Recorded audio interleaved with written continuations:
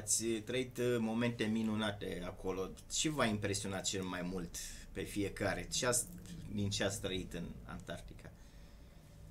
Dia domnul, nu mai tăcea așa de... Da. Pe mine m-a impresionat intrarea în rada portului Antarctic. Pentru că după ce ne-am zbâlțit uh, pasajul Drake timp de două zile și două nopți, eu unul am stat 99% la orizontală, nu prea m-am ridicat, că era aproape imposibil.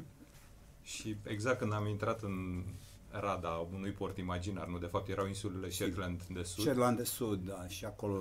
În liniște. momentul ăla s-a liniștit uh, totul, n-au mai fost nici valuri, nici vânt, niște nori foarte joși, dacă ți minte, era ca un plafon. Așa și într-o dată parcă am intrat pe un tărâm, cum spune Cristia, dacă am reținut bine că n-am, nu e, ăsta e cuvântul care vine în, în minte, un că am intrat tărâm. pe un alt tărâm.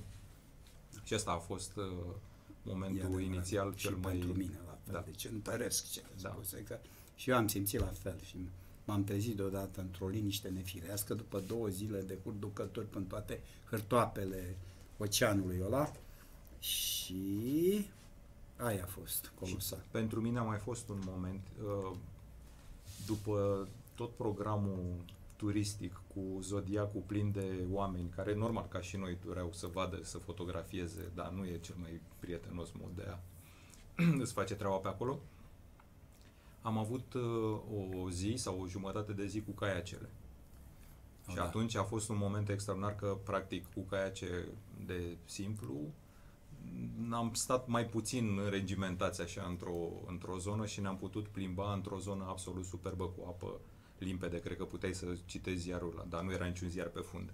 La un da. kilometru atât de limpede era. Și a fost o liniște, o oglindă, apa era o oglindă, din loc în loc mai sărea cât un uh, pinguin, iar singurul zgomot în afară de clipocitul apei care cădea de pe padele, câte un trosnet, dacă ți minte, tunet. cât un tunet. Ziceai că fapt. e o furtună da. undeva departe. Da, și de fapt cred că erau ghețurile care mai trosneau, mai cădea Se câte... mai prăbușea câte un iceberg. Ceva Asta era zgomotoare.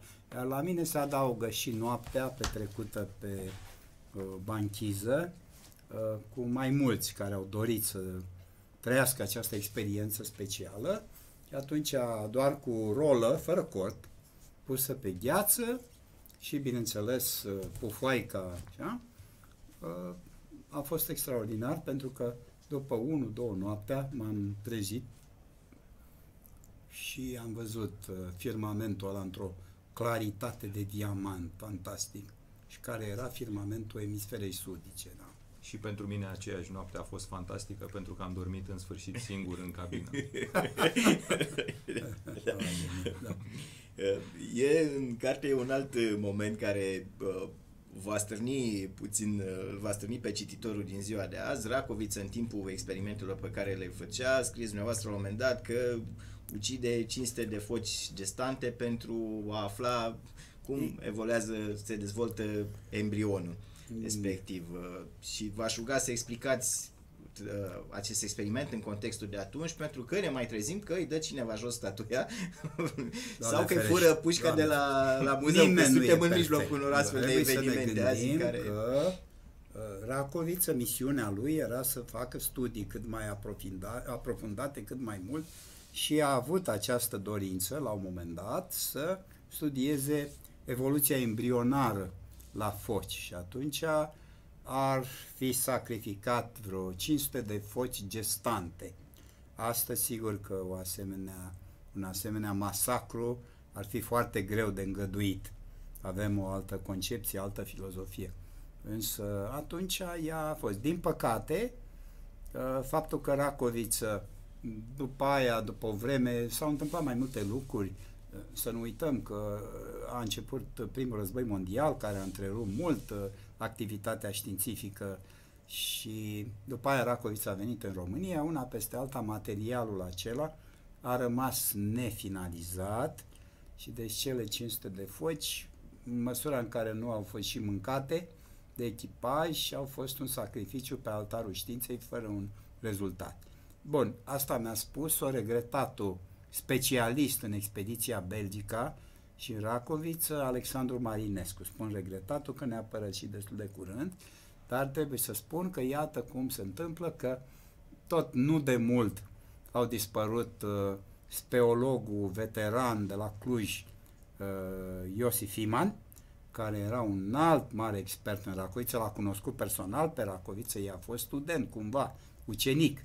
Și îi încheiam uh, și returile bătrânului, că era uh, Racoviță, era bătrân și mai uh, și eram așa de fericit că uite i-am încheiat și returile de la Bocani, spunea el Pepi, simpatic. Și uh, tot așa nu de mult a murit Gheorghe Racoviță, nepotul marelui Emil Racoviță, Gheorghe Racoviță, cercetător la Institutul de Speologie din Cluj. Uh, sunt mândru că i-am fost coleg cumva, dar uh, Racoviță, Gheorghe Racoviță a scris o excepțională carte despre bunicul lui și aproape tot ce știu despre Racoviță și uh, cercetările lui și mm, zbuciumul lui Racoviță și frământările lui sunt uh, foarte bine prinse în această carte deosebit de bună, care, după părerea mea, ar merita foarte mult să fie reeditată, pentru că a apărut în editura Academiei și na, n-a intrat pe o filieră prea. Cred că mai sunt și acum depozitele editurii Academiei exemplare din această carte. Da. Uh, deci, uh, deci asta este și într-un fel e bine că cu modestul nostru efort încercăm să reînnoim această uh, tradiție a informației despre Emil Racoviță, da? Să, să o facem, pentru că uh, Xantus Gabor, care a avut ideea realizării firmului Exploratorul, realizat de Fundația de Arte Vizuale, cum spuneam, dar Santus Gabor, operator la televiziunea Cluj, a avut ideea să facă acest documentar și el a obținut ceva finanțare de la CNC, de la Consiliul Național Cinematografiei. Așa a început toată treaba. Da. Uh, vorbeați mai devreme de o polemică între evoluționism și creaționism, o polemică care n-ar trebui să existe, cum spuneați dumneavoastră, dar azi suntem prinși în mijlocul unei polemici poate și mai mari, a schimbărilor climatice. Și cercetătorii vin și spun lucrurile astea, că se întâmplă, că omul influențează, sunt negaționiști, în special după venirea lui Trump, fenomenul s-a amplificat foarte mult. Eu cred că Ați fost putem acolo... să simplificăm puțin, să facem un club al acestor da? De negaționiști. Da?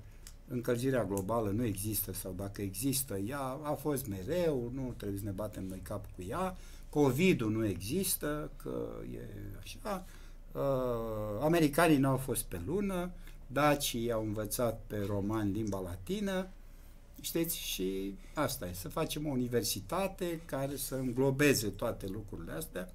Și Fiind de acolo, cum s-a schimbat clima în Antarctica? Păi, noroc că în Antarctica încă nu s-a schimbat așa de tare ca în emisfera nordică. Zilele trecute a fost guduitoare știrea asta, 22 de grade la Svalbard, dincolo de cercul polar. Păi, Uh, uh, nordul se încălzește cu mult mai repede, da, decât orice anticipare de acum câțiva ani. Nici să, e, e, e îngrijorător ce se întâmplă, e nebunie, nu știu. Am un sentiment extrem de, de negativ, așa, când mă gândesc la asta, nu știu. E, și neputința noastră, ce ne facem? Dacă... Bun, uh, aici, în Antarctica, există masa uriașă de gheață. Ăsta e un continent în care stratul de gheață atinge aproape 4 km în anumite zone, da? Și uh, el are o inerție, presupun, mult mai mare, însă a început să fie subminat că până acum măsuram aici sus gheața și cu tare, dar prea puține să știe despre această parte invizibilă, necunoscută, apele care încep să curgă masiv pe sub masa de gheață, pe sub platușa de gheață, primii au fost rușii, care în dreptul stațiunii lor Vostok au găsit un uriaș lac. E ce uriaș? E al cincelea din lume, e lacul Ontario, din, da?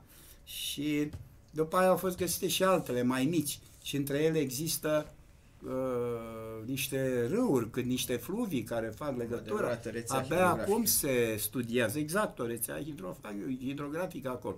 Este și un român.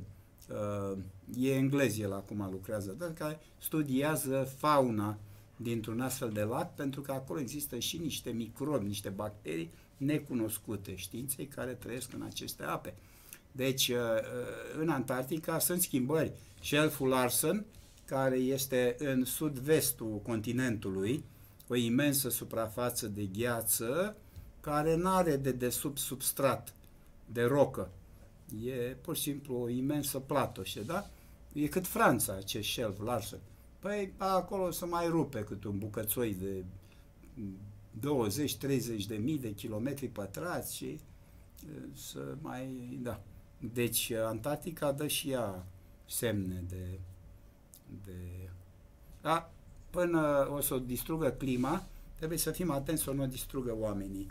Vă exprimați îngrijorarea asta mereu în carte că sunt companii care ar putea face presiune asupra guvernelor în încercarea de a face de a exploata în zonă diferite resurse minerale. Și uh, spuneați că turismul care se dezvoltă în zonă, 40.000 de oameni pe an a explodat, ar ajuta la întărirea opiniei publice că e o zonă care trebuie să rămână protejată. E, e îngrijorător acest fenomen? Adică îmi imaginam că avem niște tratate foarte clare și că de această zonă nu se va atinge nimeni.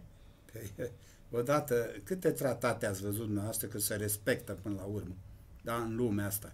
Se adună guvernele, șefii de state, au handshake-ul așa, pleacă fiecare acasă și după aia face fiecare ce vrea, din păcate, da? Și cu Antarctica, deocamdată, suntem uh, sub incidența tratatului Antarctic, care lasă Antarctica numai pentru cercetare științifică și turism. Dar uh, cred că în 2042 s-ar putea să nu se mai prelungească tratatul și există resurse, există zăcăminte de uh, cupru, plumb, zinc, există aur și argint, există petrol, e o zonă de, uh, de presiune sedimentară undeva sub gheața aia și acolo există cărbun și petrol, care va zic că ar exista resurse. Și din... Bine, dar uh, Argentina își pregătește deja terenul puternic, nu? Pentru că Așa, da. în Ushuaia, în orice magazin uh, cumpere o hartă, găsești Antarctica Argentina, adică uh-huh. ei revendică o felie de tort așa care cuprinde exact peninsula antarctică cea mai importantă. Da, care, da, e foarte da, importantă. Cea mai da. vizitată. Cea mai vizitată și, și uh, ei o consideră argentiniană, din câte știu eu de la tine. Poate. Da, da, da. Ei au trimis femei să nască acolo ca să să, să aibă cetățenie, sunt primii să aibă cetățenie antarctică, extraordinar, da. da. Dar nu vă temeți că și deci australienii... că popor al nostru a a deschis doar un drum urmat de... Și australienii revendică cam 40% din da. Antarctica, argentinienii cam tot atât, deci numai cu aceste două țări mai rămân acolo niște firmituri. Or, ăștia stau deoparte.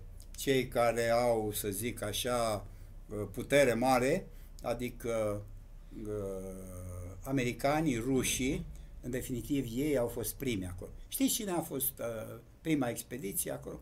E uimitor de aflat. Abia, abia scăpaseră de cumplitul război cu Napoleon și tare, da? În 1820, două corăbii comandate de un neauș rus pe nume Fabian von Belixhausen uh, au, uh, au ajuns acolo, navele Vostok și Mirne și acum de și stațiunile se cheamă așa, și care au intrat în Antarctica și au botezat un teritoriu acolo, țara lui Alexandru, care Alexandru e țarul care l-a bătut pe Napoleon, da? Așa. Deci, uh, fantastic. Și cam în același an însă a fost un american, vânător de foci, ceva, care a pus piciorul pe Antarctica, zice, domne, noi suntem americani. Deci, americanii și rușii, nu numai prin prioritățile astea istorice, dar stațiunile lor acolo, americanii investesc foarte mult. Au, uh, în primul rând, a ea lor stațiunea care e fix la Polul Sud. Și de-aia se numește în mod fair play Amundsen Scott. Au fost cei doi exploratori, unul norocos, unul ghinionist, care au ajuns acolo, uh, la 1911, da? Și apoi uh, există Vostocul rusesc, stațiune importantă, acolo între altele este recordul mondial de temperatură negativă. Știți cât? 89,2. Băi, nenic, aproape minus 90 de grade, da. Cu vânt sau fără vânt?